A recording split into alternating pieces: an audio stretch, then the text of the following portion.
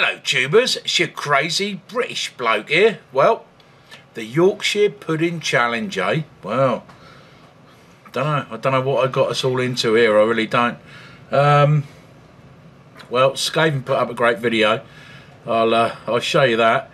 He uh, yeah, he done really well. I think he's got the biggest Yorkshires at the moment out of us lot. Uh, I've got a little clip of my last attempt. Mm, it's not bad. The hardest part is is keeping them warm enough that they don't sag when you take them out of the oven. That's the hardest bit. Also, there's a few other people. Uh, maybe I'll put their clips in or their links in. Um, they've been sending a lot of stuff around. Still waiting for Marcel, Marcel St. Jean, to uh, make his one. Uh, Rex said he wasn't going to do it because he he burns water, but I'm sure he could have a go at this if he really wanted to. Um, Redneck Rickham, where are you, buddy? You're a good cook. Come on, where are you? You've not done your bit yet.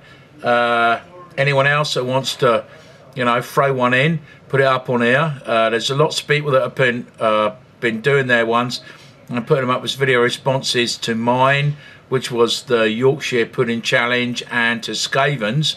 There's lots of them gone on there. Let's see where we're going from here. Um, well, I'm going to show you the clip of my last attempt. Then I'm going to show you a clip of somebody, and now he's he's got a site, okay, and he's an English guy, and he has a site called Original Naked Chef. That's his site. And he does a thing called Christmas Yorkshire Puddings. And I hope he doesn't mind me using it, but I'm going to film it and show you exactly how Yorkshire pudding should be. And I'll stick that on at the end. Now, I hope you don't mind, Bud, me doing that, but, uh, you know, if I'll put the link up maybe to your site uh, where they're going to see it anyhow, then go and have a look but that's the real way. And you make us lot look like amateurs. That's all I'm going to say. Anyhow, enough of that. Let's get on with this. My dad rang me up today and he said he watched the video and he was shouting at the screen, What are you doing? What are you doing? You've got to do this, you've got to do that. Anyhow, he's given me a few tips on Granny's old recipe. So, uh, let me show you what I've got over here, right? Now, I got myself a new pan he said you need a pan, not a too big pan. You can't use those great big cake pans. Um, use something like this and you get it in the middle of the oven. And I've got my secret recipe over here, like Granny does, alright? And it's got a damp towel on it. There it is, look. Now look at that, look. You see that, it's all bubbly and it's all sort of ready and I've got to give it another stir. I'm not going to tell you what's in it give it another stir and I got me oven at 400 so I'm now going to put this in and it's only got a little bit of oil in it look all right so that's going to go in and then right so let's see I've got Granny's secret recipe in here and the way we do this this is what I've been told is we undo the oven Mm. Oh yeah, she's hot. And we're going to put a tray out just a little bit. Okay. And we're going to put in Granny's recipe.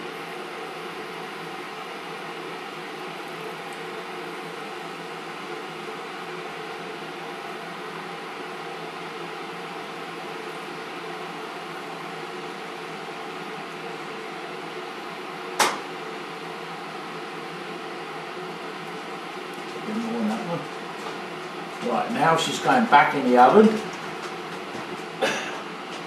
Right in the middle. Shut the door.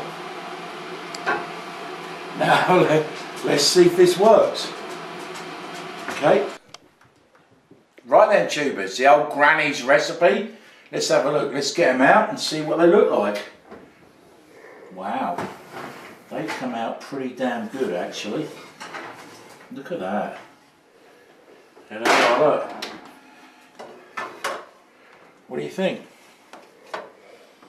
Not bad. Not bad. Don't know. Don't look too bad. What do you think then, Scave? And all the boys out there? I don't know. Maybe I'm going to have to have another go. I don't know. I don't know. They're not bad though. Look, they look. They're sort of. Maybe they could have done with a little bit longer.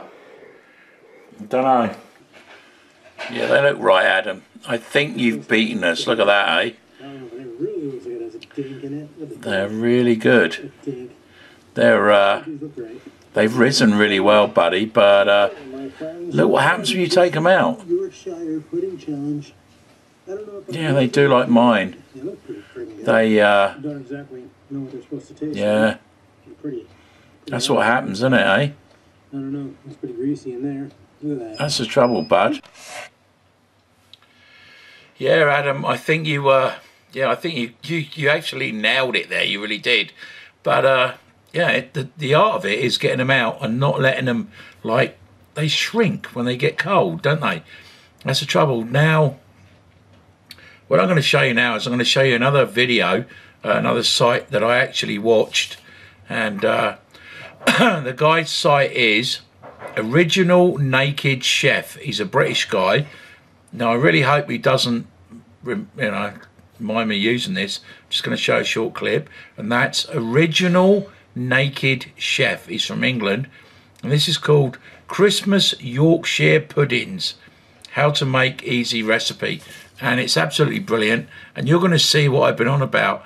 Now, these are real Yorkshire puddings. These are massive. So uh, I'll show you the clip quickly. Right, here we go. This is how you make real Yorkshire puddings. You won't believe this, Adam. Watch. And put them on a plate. You watch these. there we have the six Yorkshire puddings. All made. Look at the size of these. Look. Now, this guy really knows how to how to make them. Go to his channel. He's from England.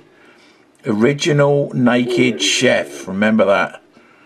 And for you wondering what it was like inside, there you can see it. They are freaking brilliant. This guy can really cook English food. Mm. There you go. Right, there you go, tubers, eh? Wasn't that brilliant? Did you see the size of those Yorkshires? God, I wish I could make them like that. That guy can really cook. Remember, like I said again, go and check his channel out. It's called The Original Naked Chef. This guy's from England and he'll show you all the English dishes. It's really good. Um, anyhow, Adam, what more can I say? We'll just wait for the rest of the people to come along and see. Redneck Rickham, eh? Come on, get going. Marcel St. Jean. I know what you like. Let's have a, let's have a look.